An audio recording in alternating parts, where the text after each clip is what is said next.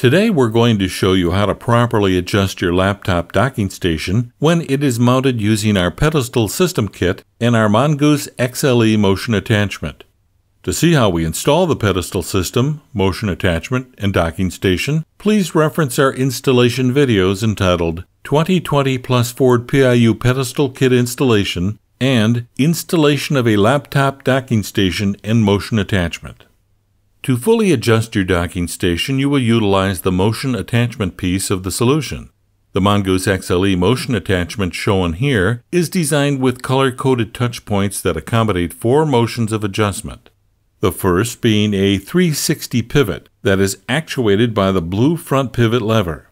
The second motion is the slide.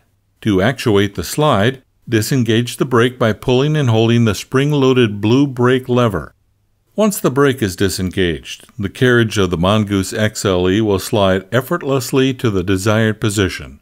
Release the brake lever to automatically engage the brake. The third motion is the clevis swivel. The amount of swivel will depend on the amount of service loop you maintain in your cable routing.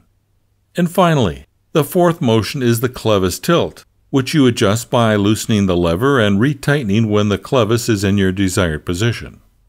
These four motions will give you the ultimate customization in creating the most ergonomic and comfortable working environment in your vehicle. Remember for your safety, be sure to disengage the brake and move the carriage of the Mongoose XLE to the stowed position before operating or moving the vehicle. To learn more about the solutions in this video or to explore our full product offering, visit our website at gamberjohnson.com.